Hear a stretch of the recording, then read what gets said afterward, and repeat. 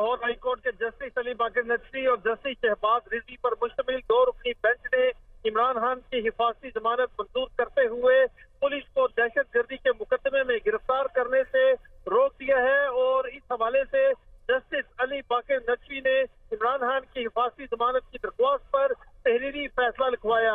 आज जब अदालत ने केस पर कार्रवाई का आगाज़ किया तो इमरान खान कमरा अदालत में खड़े थे तो अदालत ने कहा कि आप कुर्सी पर कुर्सी पर तशरीफ़ रखे, जिस पर इमरान खान बैठ गए और इस मौके पर अदालती अमले ने इमरान खान की हाजिरी मुकम्मल की। इस मौके पर जस्टिस अली बाकर नकवी ने कहा कि इमरान खान की हिफाजती जमानत की दरख्वास्त मंजूर की जाती है और पुलिस इमरान खान को गिरफ़्तार न करे। अदालत ने इस हवाले से इमरान खान की दरख्वास्त मंजूर कर ली है। इमरान खान के, इमरान खान के साथ उनके बुकला मौजूद थे, जिन्होंने अदालत को ये बताया कि इमरान खान खुद अदालत पेश होना चाह रहे थे लेकिन सिक्योरिटी क्लियरेंस की वजह से तखीर हुई जिस पर वो माजरत हुआ है। इस मौके पर तो मोहम्मद अशफाक ये भी बताएगा कितनी देर के लिए ये जमानत हिफाजती जमानत मंजूर की गई है?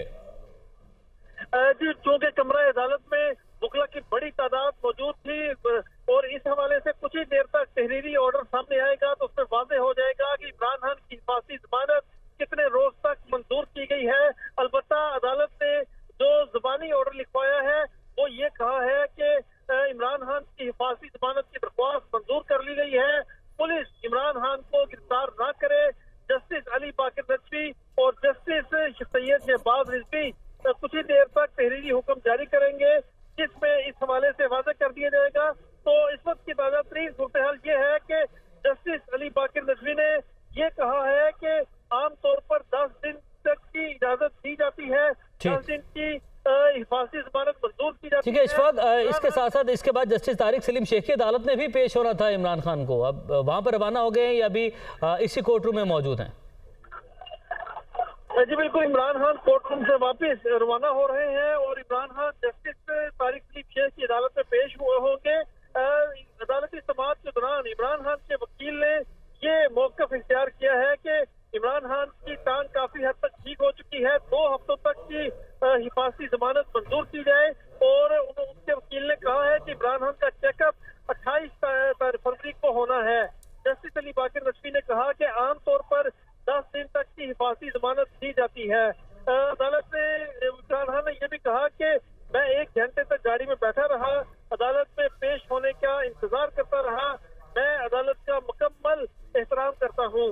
अदालत ने इमरान खान को रोशन पर बुलाया था तो इमरान खान ने कहा कि मेरे एक्सरे हुए हैं डॉक्टर ने दो हफ्तों का के आराम का कहा है और उसके बाद अब अट्ठाईस फरवरी को मेरा हतमी तौर पर चेकअप होना है जस्टिस अली बाकी तशरी ने कहा कि आमतौर पर दस रोज हिफाजती जमानत मंजूर की जाती है तो इस हवाले से आपकी दरख्वास्त पर भी फैसला कर देते हैं।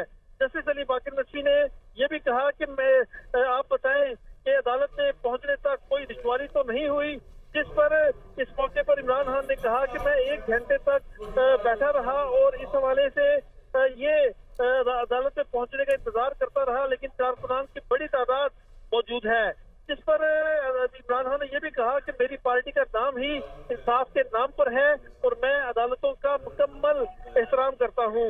जस्टिस अली बाकर नकवी और जस्टिस शहबाज रिजवी ने ये इमरान खान की हिफाजती जमानत मंजूर कर ली है और ये कहा है कि पुलिस इमरान खान को फौरी तौर पर गिरफ़्तार न करे। अदालत ने इमरान खान की हिफाजती जमानत मंजूर कर ली है और ही देर तक अदालत इसका तहरीरी हुक्म जारी करेगी कि इमरान खान की कितने रोज तक हिफाजती जमानत मंजूर की है।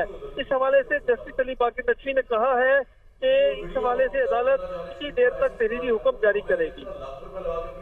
सही, मोहम्मद अशफाक हमें साथ, हमारे साथ ही मौजूद रहिएगा। अपने नाजरीन को बताते चलें कि जस्टिस अली बाकर नजफी ने फैसला लिखवाना शुरू कर दिया। अदालत ने इमरान खान की हिफाजती जमानत मंजूर कर ली है।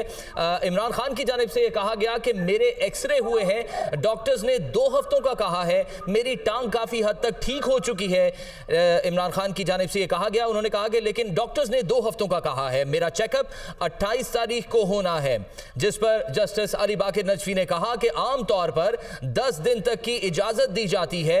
और इमरान खान ने कहा कि मेरी पार्टी का नाम ही इंसाफ के नाम पर है। मजीद कहा कि मैं एक घंटे तक गाड़ी में बैठा रहा अदालत में पेश होने के लिए इंतज़ार करता रहा। मैं अदालतों का मुकम्मल एहतराम करता हूँ। अशफाक ये बताएगा कि जस्टिस तारिक सलीम